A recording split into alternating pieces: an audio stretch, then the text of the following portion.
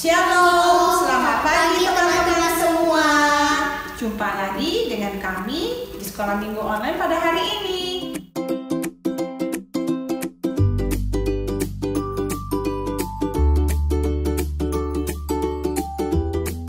Nah, sebelum kita memuji Tuhan, mari kita sama-sama berdoa dulu ya. Ayo kita lipat tangan, kita bersatu di dalam doa.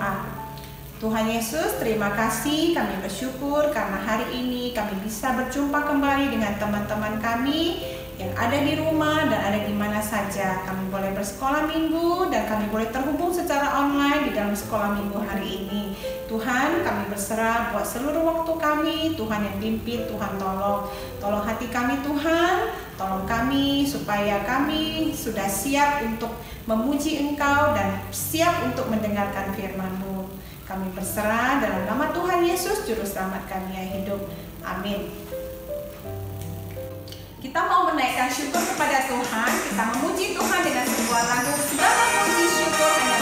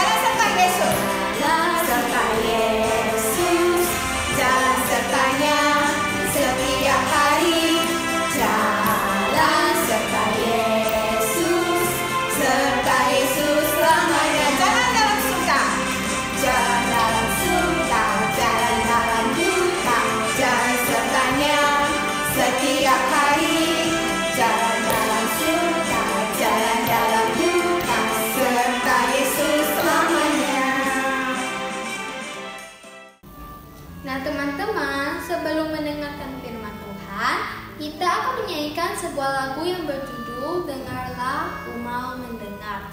Kita menyanyikannya dengan semangat ya.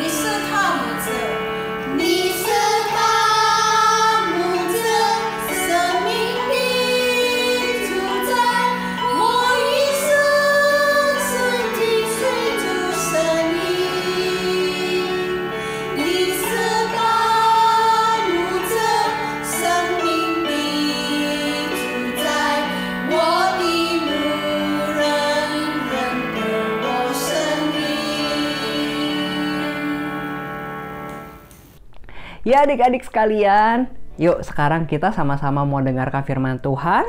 Ya, sama ambil sikap duduk yang baik, kita sama-sama siapkan hati kita. Kita lipat tangan, tutup mata, kita bersatu di dalam doa. Bapa kami yang baik, terima kasih karena anugerahmu kami bisa bersekolah minggu dan kami boleh punya waktu untuk merenungkan firman Tuhan. Tuhan, pimpin kami di waktu kami mendengarkan firman Tuhan, supaya kami bisa berkonsentrasi dan kami bisa mengerti firman Tuhan hari ini. Terima kasih Tuhan Yesus. Dalam nama Tuhan Yesus kami bersyukur dan berdoa. Amin. Nah, adik-adik sekalian, dari kantong Lause, Lause punya sesuatu, ya. Nah, adik-adik ada yang tahu apa ini? Wah iya, ini uang. Uang pecahan berapa ini kira-kira ya? Dari tulisannya ini adalah uang 5000 rupiah ya. Nah, adik-adik di tangan Lause bukan cuma ada satu lembar, tapi ada satu, dua, tiga, empat ya. Jadi total ada empat lembar uang 5000 rupiah. 4 kali 5000 menjadi berapa? Jadi totalnya ada Rp20.000 di tangan Lause hari ini. Nah adik-adik, ya kenapa Lause pegang uang ini? Nah adik-adik Lause pengen ngajak adik-adik semua berandai-andai. Misalkan ya sebelum sekolah minggu ya kan biasa kalau kita datang ke gereja orang tua kita menitipkan uang persembahan ya Misalkan hari Minggu orang tua, papa atau mama kasih ke adik-adik uang 5 lembar uang 5000 eh, 4 lembar uang 5000 ini. Lalu papa mamamu bilang ini uang untuk persembahan ya. Ada 20.000 10.000 untuk nanti persembahan, lalu 10.000 ini untuk uang jajan kamu atau untuk ditabung. Ya, jadi Total ada 20 ribu, 10 ribu untuk persembahan, 10 ribu untuk kita ya, untuk kita jajan atau untuk kita tabung. Nah, lalu kita bawa dalam kantong. Nah, adik-adik kalau begitu waktu kita datang ke gereja dan waktunya kita memasukkan persembahan ya ke dalam kantong persembahan, adik-adik biasa eh, seharusnya kita masukin berapa lembar? Dari 4 lembar uang 5000 ini. Tadi papa mama bilang untuk persembahan 10 ribu. Lalu untuk jajan 5 ribu, eh, 2, eh, 10 ribu. Tapi adik-adik kira-kira kalau kalau misalkan adik-adik ketika ke gereja persembahan lalu adik-adik akhirnya hanya memasukkan uang satu lembar, kira-kira ada yang tahu tidak kalau adik-adik memberikan kurang dari yang seharusnya? Ya harusnya kita memberikan 10 ribu dua lembar ini tapi adik-adik pengennya jajannya 15 ribu lalu adik-adik pikir untuk persembahan 5 ribu saja. Kira-kira ada yang tahu tidak kalau adik-adik sudah berbohong atau mencuri? Kira-kira ada yang tahu? Hmm, pasti tidak ada yang tahu ya.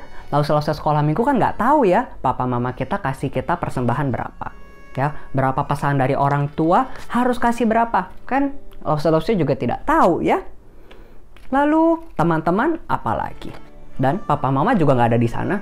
Setelah pulang, mereka juga nggak akan cek isi kantong kita atau dompet kita kan.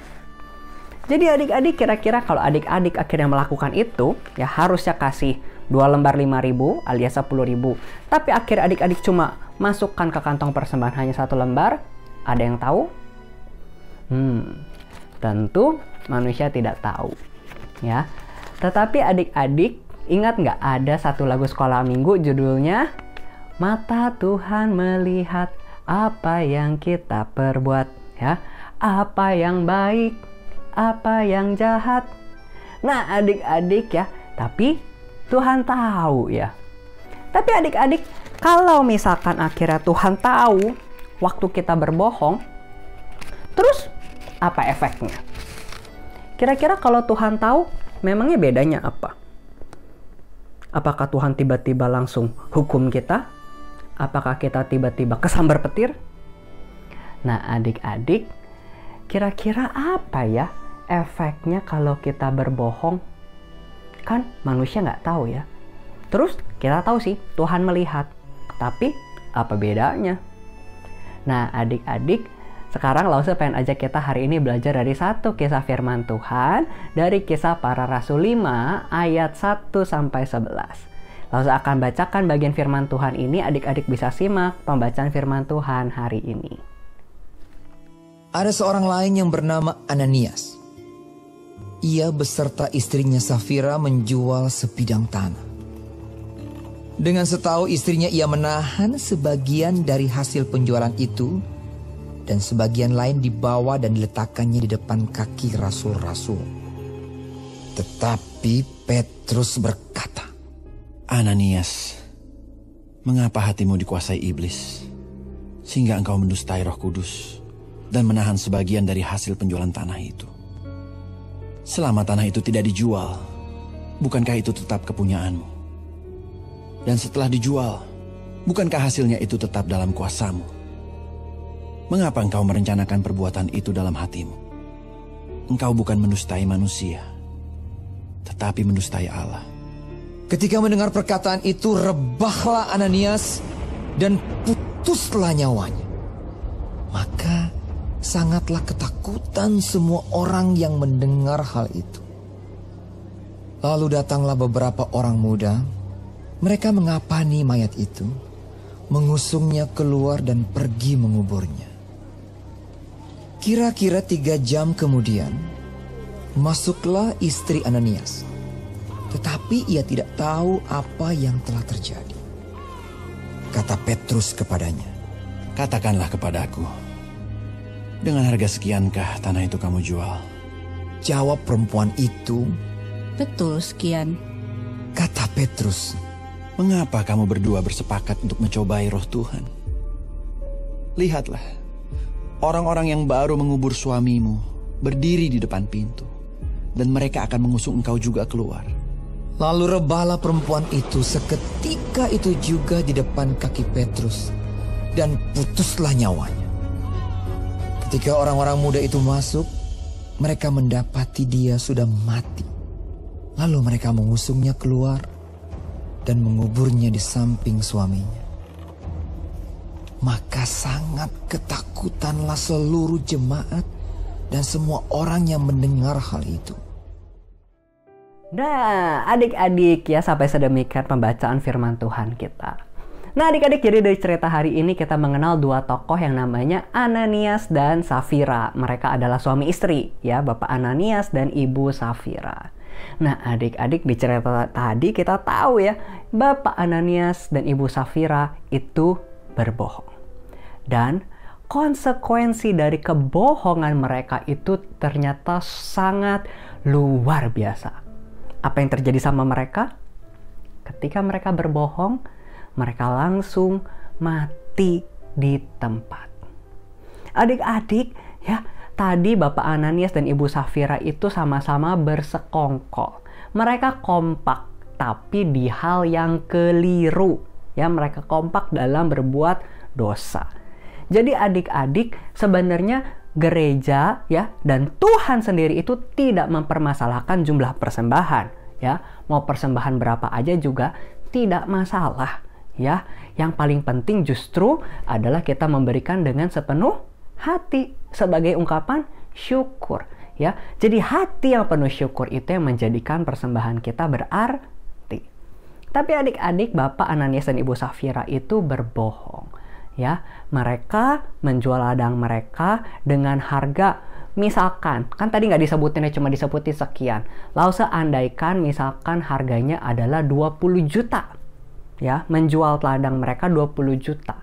Lalu mereka sudah berjanji mereka mau berikan itu semua hasil penjualan untuk persembahan ya di depan gereja ya kepada orang gereja ya kepada murid-murid Tuhan Yesus dia mengatakan mereka mengatakan bahwa seluruh hasil penjualannya itu akan dikasihkan.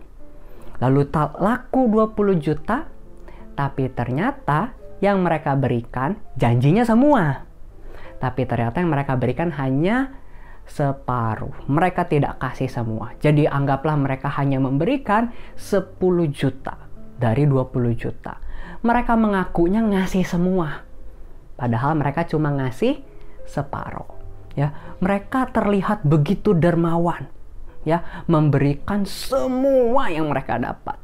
Padahal kenyataannya separuh mereka ambil untuk kepuasan mereka sendiri, untuk keserakahan mereka sendiri. Nah, adik-adik, itulah yang menjadi dosa dari Bapak Ananias dan Ibu Safira. Mereka berbohong dan Tuhan tidak tanggung-tanggung. Tuhan langsung menghukum mati pasangan suami istri ini. Nah, adik-adik mirip dengan kasus uang 20 ribu tadi ya, yang Lause bilang. Dititipin uang 10 ribu, ya untuk persembahan 10 lagi untuk jajan. 10 dipakai jajan ini nggak masalah ya karena memang sudah dititipkan untuk kita. Tapi waktu kita bilang saya dikasihnya 5000 padahal sebenarnya dikasih 10000 nah itu namanya berbohong. Tapi adik-adik memang ya kalau kita berbohong Tuhan tidak langsung hukum kita seperti Bapak Ananias dan Ibu Safira ya kita tidak langsung meninggal di tempat tidak langsung tersambar petir atau lain sebagainya. Tetapi adik-adik ingat, mata Tuhan melihat. Ya, dosa di mata Tuhan itu mau besar mau kecil. Mau mencurinya 10 juta atau cuma 500 perak. Yang namanya mencuri berdosa itu adalah dosa. Nah, adik-adik dan Tuhan itu adil. Tuhan mungkin ya tidak memberikan hukumannya sekarang.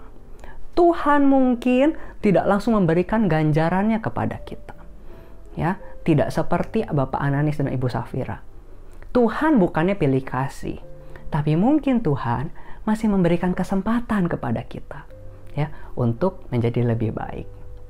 Tapi mungkin Bapak Ananias dan Ibu Safira mereka telah menyanyiakan kesempatan yang Tuhan berikan.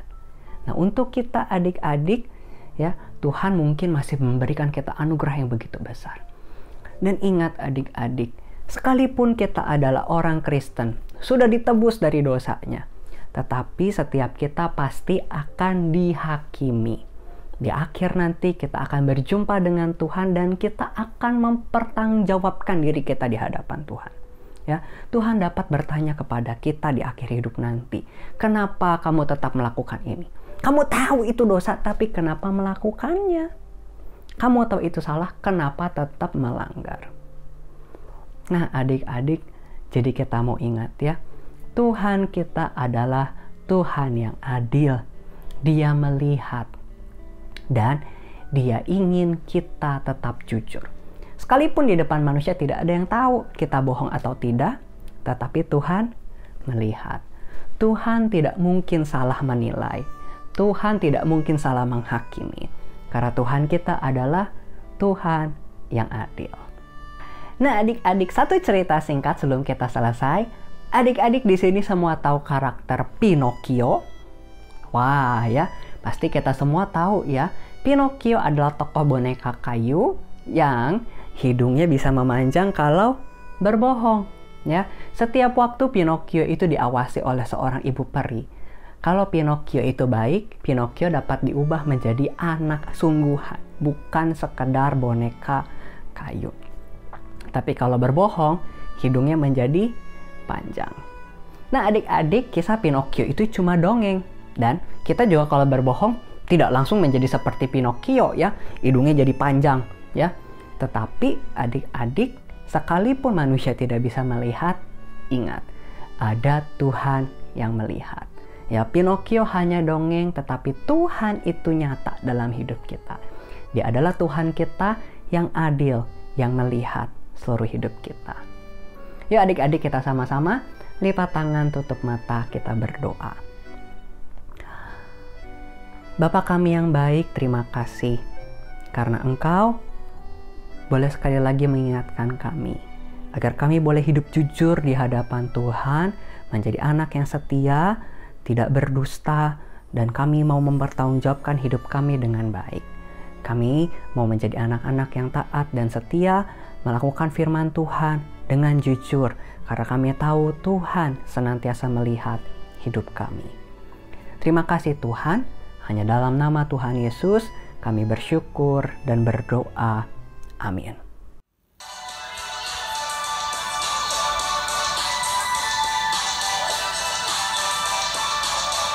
When I look up to the sky, I see the birds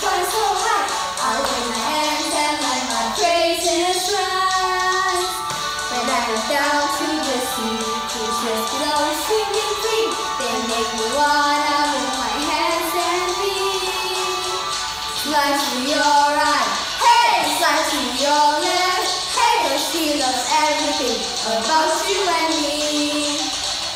Jump to your right, hey, jump to your left. Hey, cause she loves everything about you and me.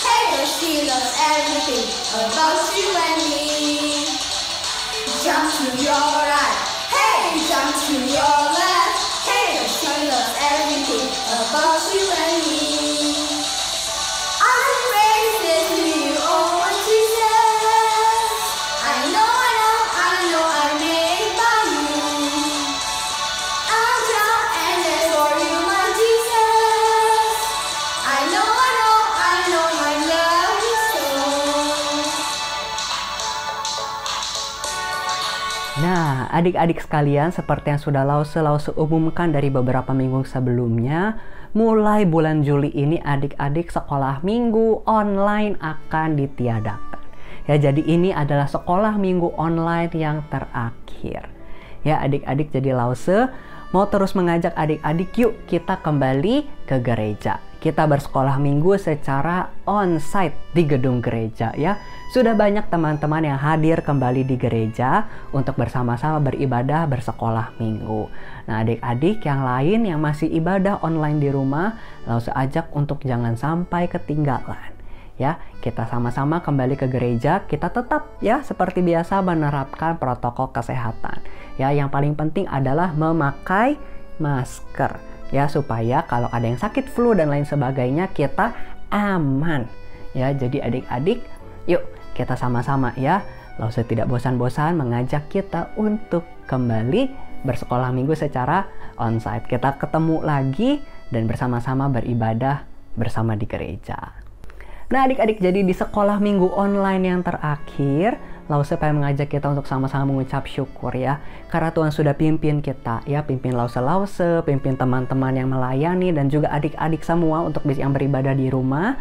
Untuk kita, uh, telah Tuhan telah menolong kita untuk bisa beribadah sekalipun di masa pandemi. Dan kita bersyukur ya pandemi sudah semakin mereda ya kita sudah bisa kembali berkumpul dan sekarang kita sudah bisa kembali sekolah minggu seperti sedia kala ya. Kita sama-sama berdoa kita juga doakan untuk papa mama kita ya yang mungkin belum ke gereja lagi. Nah kita juga mau ajak mereka ya untuk kembali beribadah di gedung gereja juga. Yuk adik-adik langsung ajak kita sama-sama lipat tangan tutup mata kita berdoa kita mengakhiri sekolah minggu kita. Bapa kami yang di surga, terima kasih karena Engkau begitu baik. Engkau telah menuntun, menyertai setiap kami di berbagai masa, termasuk di masa-masa yang sulit ketika melewati pandemi. Saat ini kami bersyukur untuk pertolongan Tuhan, kami sudah bisa melaksanakan ibadah online sampai sejauh ini dan saat ini kami akan kembali sepenuhnya melakukan ibadah secara onsite. Tuhan pimpin teman-teman yang masih beribadah di rumah supaya bisa segera kembali ke gereja dan juga untuk para papa mama mereka juga untuk bisa kembali bersama-sama bersekutu di gedung gereja. Terima kasih ya Tuhan. Hanya inilah doa kami, syukur kami yang kami naikkan hanya dalam nama anak Yesus Kristus. Kami bersyukur dan berdoa. Amin. Baiklah adik-adik, jadi sampai di sini seluruh sekolah minggu online kita. Sampai jumpa minggu depan di Gereja GKY Medan. Tuhan Yesus memberkati.